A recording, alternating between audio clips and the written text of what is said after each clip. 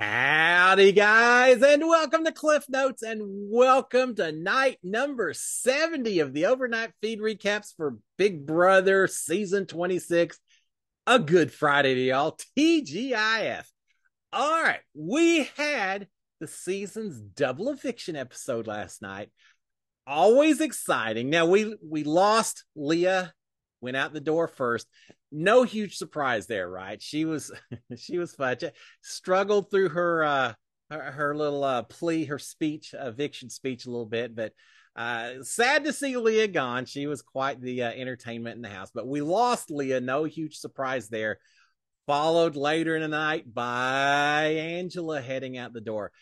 Not a huge surprise, although I will say I think Mackenzie needs to be thanking her lucky stars that it was Angela, not her I don't think Mackenzie's going to realize till she gets out of the house just how close it could have been uh, her heading out on the double last night. But it wasn't. It was Leah and Angela heading out the door. Those two are going to be a whirlwind over in the jury house, right? We haven't seen any clips from the jury house. I expect we'll see them now that that you got four folks over there hanging out and oh Quinn and Quinn and Angela get to hang out for another week or so. I'm sure they'll be looking forward to that. If there, I think jury house didn't go myself, but based on talking to people, I think once you get over there, you get rid of the stresses of the game of Big Brother and all that. Everyone's going to get along. They'll have a blast over there. Uh, but we lost Leah. We lost Angela. We're down to our final five, right? Who who picked those those five to be final five? I've probably not a lot of people, but those are our final five. It's going to be an interesting uh, next couple of weeks as we see how this all resolves out. All right, before we talk about the live feeds, I was excited to see that the veto competition during the double eviction was the ball rolling competition that I competed in when I won and, and battled my way back into the house. Always cool to, to bring back some of those old memories and all of that. Except I will mention that the uh, that their competition, their veto had very large rails around every curve as they were rolling these balls. Mine didn't have that. Yeah, you had to have a lot more finesse to keep the balls from rolling off. They they had a lot of rails to help them out. But I still enjoyed watching it. Props to Chemo uh, for for winning and pulling himself uh, off the block. All right, let's talk about the feeds. Let's talk about the new HOH that we have in the house. Uh, we got the feeds back around I don't know, but around nine o'clock or so, Big Brother time. Uh, it was not slip and slide. I kind of thought it was, but not slip and slide. We got the feeds back around nine o'clock, Big Brother time and discover that the new HOH is Mackenzie. Yes, Mackenzie. Yeah, it seems like it's two weeks in a row because Chelsea was only HOH there for the period of the, the live show. But Mackenzie is HOH this week. So the big question who does Chelsea want out this week? Because she's kind of really the de facto HOH, right? Yeah, not taking away from from Mackenzie, uh, but yeah, Chelsea did have a hand last week. But Chelsea, uh, McKenzie is is the HOH for the for the week, uh, and the big question is who's going up on the block. Well, it seems pretty straightforward right now. Rubina and Chemo going up, right? You would think so, and as it turns out, that probably is the case. If one of them wins veto, then the other one uh, goes. Uh, Cam probably goes up, uh, and the other person of Chemo and Rubina then goes home. We had some discussions that we'll talk about uh, on the live feeds last night. Uh, but here's little question for you. What if MJ, if if uh, Rubina or Chemo wins veto, pulls himself off? What if Mackenzie, instead of putting up Cam, put up Chelsea at that point in time? If you put up Chelsea, now suddenly you've got either Chemo or Rubina voting out Chelsea because they're not going to send out their their partner, right? You've got Cam voting out either Chemo or Rubina, who's on the block. Mackenzie at that point in time then breaks the tie talk about a big resume move if you were to send Chelsea out the door uh, right then and there and have a final four of yourself and Cam and Rubina and Chemo. Seems like it would put Mackenzie in an incredibly strong position. Now, I don't think she's going to do that because I think she feels too much of a connection with Chelsea, but I'm just saying, just, just mentioning that as a possibility. Uh, and, and we did have some discussions about who would go up as a renom. So let's get into the live feeds. Now, the the HOH itself was an HO was an HOH version of the tiny veto comp that we've seen before, where everyone's using tweezers to to lean in and uh, stack uh, stack something. We don't know what they were stacking this time. In the past, it's been little cans and things like that. S- stacking something a little tiny. Mackenzie got a little tiny key, uh, just like you normally get a little tiny veto. Uh, so we haven't heard the details, but some kind of stacking with tweezers. As I mentioned a second ago, I really thought this could be slip and slide. It seemed like this was the last chance to do it. At this point, I don't think we're going to get slip slip and slide this year. I just don't think with with five people less left in the house, uh, we'll be down to four next time. Mackenzie can't compete. I don't think they'll do a slip and slide with just three people. So I think slip and slide for whatever reason just didn't gonna show up on season 26. I kind of think the next competition, HOH comp, is going to be the one where everyone's hanging from the rope, standing on the disc, and getting slammed into some kind of barricade or something. Oh, we'll see. Uh, but we've got that. All right, now let's talk about the feeds. I kind of uh, had a lot of things to talk about. All right, on to the feeds. Uh, we do see Mackenzie back. It uh, didn't take long to figure out that she'd won it. You didn't even need to see a tiny key around her neck. Just the way Mackenzie is standing up and smiling, looking very happy. Chelsea looks decently happy. Everyone else just kind of like, mm, mm, yeah. Mm. So uh, yeah, it's pretty obvious that Chelsea was in a much uh, that uh, and uh, was in a much better mood than anyone else. And as it turns out, she did win the HOH. Now Chelsea was HOH for a few hours uh, between uh, between uh, Mackenzie's reigns. So Chelsea did get an HOH basket as well. She doesn't get music. She doesn't get the HOH room, but she did get a basket. She got a letter. Uh, she got a letter from her brother. Uh, she got pictures, additional pictures from her family. She did have also, and they were looking at this down in the living room area. Uh, she did mention after that she went into the uh, that rock bedroom, had did one of her little Chelsea camera talks. she's mentioning during her camera talk that during the tiebreaker with Angela, that she actually left a uh, a zero off of her response. I think she said 1,080, which was like 18 minutes that Janky had been uh, in the backyard with them instead of 10,080, which would have been right about on on target as far as the the actual answer. Uh, so it almost it could have been a huge mistake on Chelsea's part turned out not to matter anyway. She won, she won the HOH no matter what because Angela guessed a week and a half or so that Janky had been outside with them. What we all know at this point in time in Big Brother, if you have to do a tiebreaker, it's probably going to be something along the lines of how long in seconds or how long in minutes did such and such last take place, etc why do these house guests not memorize how many minutes are in a day, how many seconds are in an hour in a day, etc.? It's just a couple of numbers that would make it so much easier on these tiebreaker tiebreaker questions. Uh, they just don't always seem to be prepared for the tiebreakers the way I think they should be. But she does mention she left off a zero. It turns out it didn't matter because Angela went above, went over the uh, the answer anyway. So Chelsea uh, won that thing, and uh, very excited about being a final five and and all that. She did say that she wanted Angela out because everyone who sits next to Angela goes home. Chelsea did not want to get into a situation where she was potentially sitting next to Angela, uh, and she went uh, home as well. So she she very much did want Angela out the door as opposed to Mackenzie. Leading up to this, I wasn't so sure about that, but yeah, she wanted Angela out.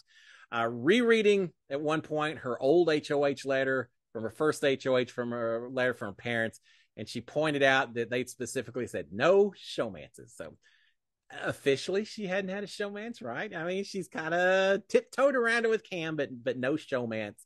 Uh, very very limited showmances in the house this season. Uh, even and Tucker seems like that was hundred years ago.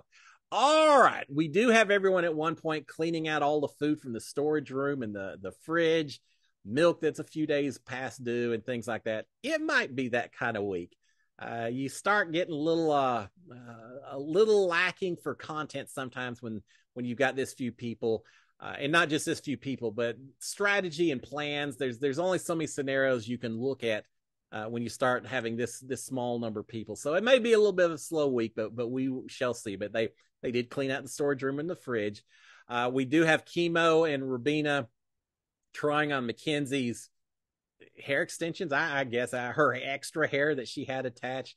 Uh, it actually looked pretty good on Rubina. Chemo, not not so much, but they were having fun trying on her her hair extensions and all that. All right, we did actually have a little bit of strategy talk last night, a little bit. Uh, we've got Chemo and Rubina talking to each other. Chemo is scared. He said, I'm really nervous what's going to happen this week. And Rubina says, Well, we are kind of the obvious choices, Chemo. I mean, you know, it is what it is at this point in time. Uh, they suspect that the upcoming veto comp, which should be on Saturday, uh, is going to be BB Comics. They are correct. Uh, that's exactly what it's going to be. Chemo is talking about how how to win it, and being the the comp beast that he is, I hope I hope Rubina's paying attention. Uh, now he's he's saying that he thinks that you should that you should go up, uh, do the zip line 16 times, and every time you do it, focus on only a single picture. Make sure you've got it in the right order and that you recognize the differences. And that way you can just take 16 times. You won't make a mistake. You'll win it. Got to disagree uh, on that one. I, I, don't think that's the, the path to victory. And Nicole Anthony, who won my season, uh, her strategy, and she won. So I, I think that's there's some validity to it. She said what she did and what she planned to do was work on the order first. Try to remember like three, four, five without anything about the details. Just remember the order, make sure all the order set up, then go back and start working on, on the differences. I tried to combine it. I tried to look at the first two or three, look at the order and the differences and build them in little groups. Nicole won, so maybe her system works better. But yeah, I don't think doing one at a time is necessarily going to work for chemo, but he may prove us wrong he may beat the all-time record for BB Comics and uh, and just dominate for the next few weeks. He might, uh, and he might not. All right, but he's telling King, uh, Rubina how he thinks the uh, the BB Comics uh, should be handled. Uh, it's going to be fun. I'm looking forward to seeing what these comics are going to be for the 16 house guest. All right, so they're they're a little bit worried as they should be. We've got Mackenzie and Chelsea meanwhile talking. Uh, Chelsea saying, "Look, we should be able to make it to the final two at this point." you should be able to, right? Unless you start getting too nervous about the other person. But in terms of competitions, certainly these two dominate the other three, right? I mean, uh, add up all their comp wins versus the other three, and there's no comparison. So you would think from a purely competition standpoint, yes, there's a wide open path to the final two for Chelsea and McKenzie. the big question though do they want to take each other is someone going to have a tough choice to make somewhere down the road and, and we don't know that just yet but chelsea's saying they can make it to the final two she's saying look next week next week mackenzie you can't compete i'm going to be competing against cam and rubina uh, so it sounds like chemo's the plan to send out the door this week because she's saying i'm going to be competing against cam and rubina for hoh that should be something I could win, right? You would think. But remember this the HOH, if you win this next HOH, it guarantees you a spot in the final three. But it's actually the veto winner who decides who goes home, who does not make the final three. Uh, so, really, this week, there's more power in the veto in some ways than there is in the HOH. But uh, but but Chelsea saying I should be able to win the HOH, which would get her spot into the final three at that point in time. And then, then they battle it out to see who has to head out the door. Uh, Mackenzie's wondering if Chemo or Rubina were to win veto, should she put Chelsea up so that they don't look like a threatening duo instead of putting Cam up, saying, "Hey, you know, maybe I could put you up, and then people won't think we're as tight as we are." Well, if I'm Chelsea, I'm a little bit worried about that. If for no other reason, the scenario I just mentioned at the beginning of, of the recap, that Mackenzie could do something a little sneaky, but even beyond that, at this point in time, does it really matter? Is there really that much that you have to hide from other people? Maybe a little bit, uh, but yeah, I, I, don't know if it's as big an issue as they're making out to be. But Mackenzie is wondering if maybe just to try to keep the cover up a little bit about their their relationship, put up uh, Chelsea instead, just to make sure. Uh, they're talking a little bit about the tiny HOH uh, comp that they just did.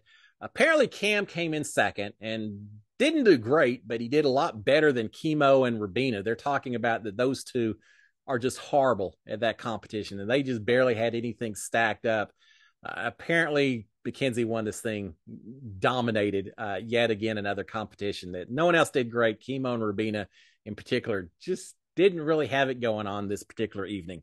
Uh, we've got Chemo at one point wondering if they are allowed back in the house after finale night I can answer that question. They say, no, I don't think so. I can answer that question. No, you are not allowed back in the house. After my season, we did backyard interviews. I asked at that time, say, hey, can I just go say goodbye inside the house real quick? Not Cliff, no one goes back in. Uh, from the second I walked out and talked to Julie, not a not a second back in the house. No one gets to go back in. Even the winners, the final two, once they're out, that's it. There, there's no there's no go backs after the season. Uh, so yeah, no chemo and enjoy your time while you still can, because once you're gone, you're gone. All right, we did have eventually Chelsea had already gotten her HOH basket. Mackenzie gets her HOH room. Uh, she gets pic, uh, pictures of her parents, her her brother. She gets a letter from her brother as well uh, that she's reading at, and just the standard food and wine and things like that. Her music. She did get a uh, some country music. She got an album from uh, George Strait. Uh, I happened to get an album from George Strait when I won HOH as well. So yeah, little, little connection there with the uh, the old Texas Aggies and the music we listen to. So she got George Strait. That'll keep her happy for this next week. All right, we've got Mackenzie and Rubina talking. Mackenzie saying, "Look, uh, let's just chat in the morning. We've seen these house guests every week doing all their one on ones as soon as they get their rooms, even before they get their rooms." Mackenzie's telling Rubina, said, look, let's just chat in the morning. It's not going, I'm not going to need much time. It's not going to take long. We'll just chat then we know what's going to happen. Chemo and Rubina are going on the block. I don't think anyone suspects anything but that. So not a lot of conversation to be had, but they'll go through the motions anywhere. And Mackenzie says, let's just do it in the morning. We'll be fine. All right, we've got Mackenzie and Chelsea decide to take a uh, bubble bath in the HOH bathroom. Cam volunteers to to take a bath with them and is is rejected from that. Now, that'd be an interesting trio sitting in that tub, right? But now it's just Mackenzie and, and Chelsea taking a, a bubble bath uh, in there while they're in there, a little strategy talk, they're talking about a scenario where chemo wins uh, potentially, uh, but uh, the veto, but Rubina wins the next. Uh, got my notes a little bit. Uh, I think where chemo goes home, but Rubina wins the next HOH. And they're figuring if that was the case. So chemo's gone. It's just Rubina, Chelsea, Mackenzie, and Cam and they're saying if Rubina was to win that, they're figuring that Rubina would would maybe keep the women, so she'd be gunning for sending Cam out the door. Well, again, as I mentioned before, it's not about who wins HOH; it's who wins veto. Uh, Rubina, if she wins HOH, unless she wins veto, also uh, she she doesn't necessarily get to say. But uh, but theoretically, if Rubina won the veto, would she send Cam out the door in the interest of this women's alliance that, that's been talked about? Uh, so they are talking about what happens if Rubina was to win uh, HOH.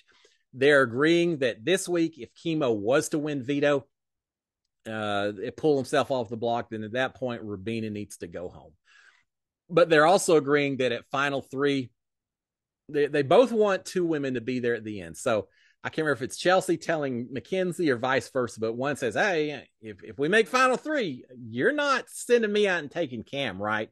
The other one said, no, and, and you're not doing any of it either, right? So they've agreed that neither one is going to take Cam to final two with them. They're going to make sure uh, they take each other to the end because they want two women. Easy to say now. We'll see if that's still the case uh, come uh, come finale night, but but it, it certainly is a possibility. I will say this personal opinion of the five people left in the house, Mackenzie and Chelsea are the two who deserve to be at the final two. Doesn't mean they'll be the two that are there, but I think that's who's most deserving. All right, Chelsea is mentioning to Chel uh, to Mackenzie saying, "Look, if you make it to final two, you win this thing. Yeah, Mackenzie, uh, look at your resume. You you will win this if you make it to the final two. Now, if I'm Mackenzie, that's going to worry me a little bit. Do you really want someone who is that certain that you're going to win the whole thing? Uh, potentially making the decision about whether to take you with them to to final two or not uh, be a little bit ner- nervous about it. But uh, she does mention that to uh, to Mackenzie. Uh, Chelsea also is asking Mackenzie because Mackenzie says, "Well, I don't know what I'd say in a final two speech," and Chelsea says, "Well, if you're asked what what was your biggest game move uh, this season, what would you say?" Uh, don't give up that information, Mackenzie. This could be a three quarters of a million dollar situation. Uh, don't be giving out information to your potential final two opponent who may use that information against you to try to downplay it or claim credit or sell. Who knows? Uh, so, so don't give up any of that type of information. But she does. Uh, Mackenzie says, well, I don't know. Maybe I'd mentioned sending Leah home, uh, which if she does that, Chelsea's going to say that was all my doing. I manipulated Mackenzie into doing that. So d- don't be using that as your game move. She says, or maybe when I won BBAI Arena, uh, that one instead. It's a long time ago. I'm not sure that counts as well.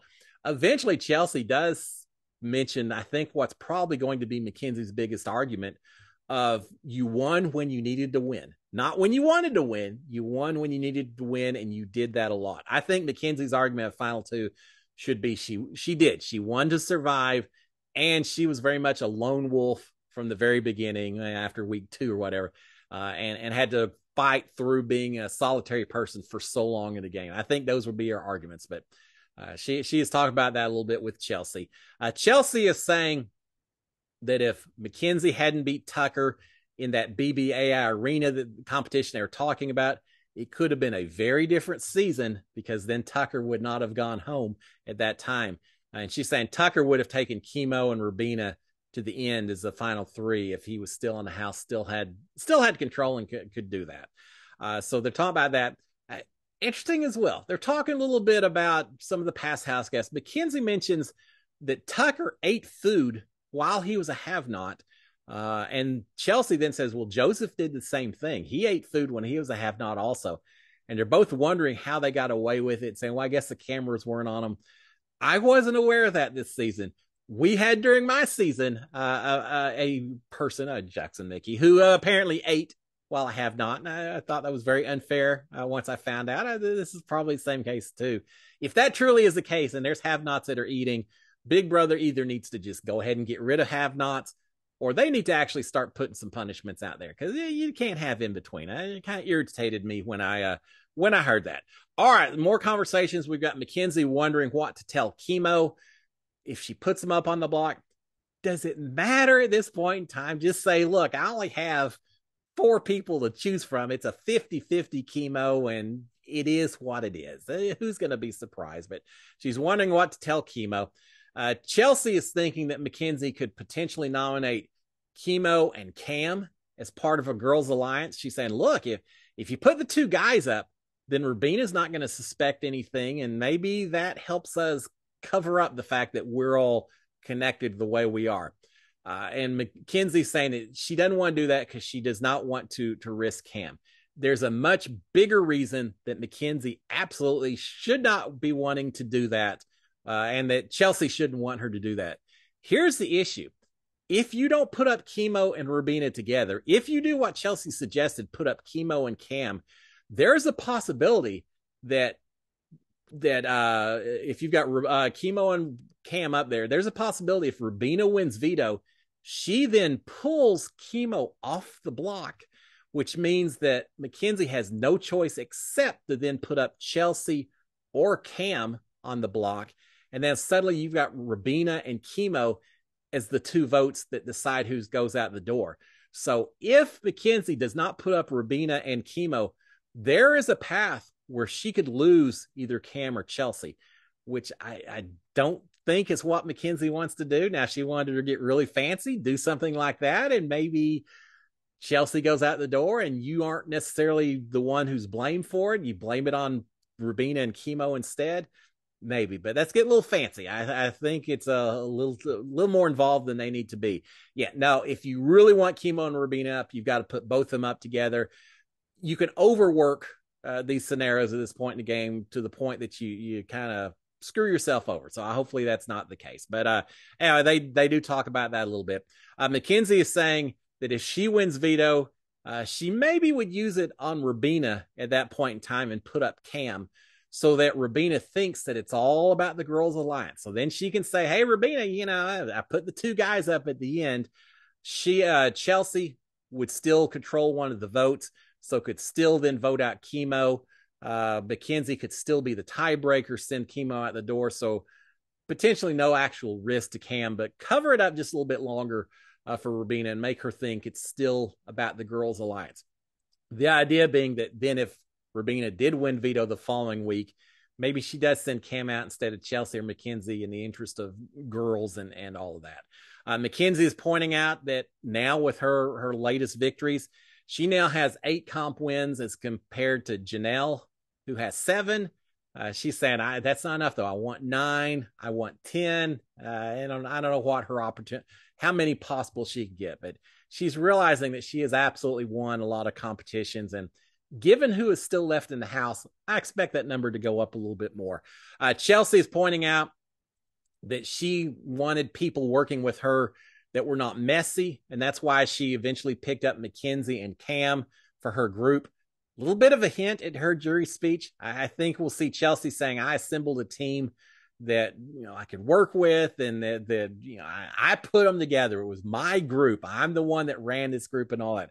I, I think that's going to be her approach at a final two. Uh, Chelsea's going to have a lot uh, to to talk about things that she did. Unlike Mackenzie, who may be struggling on game moves, I think Angela. Uh, I keep saying that. I think Chelsea's got a lot uh, that she'll be able to talk about.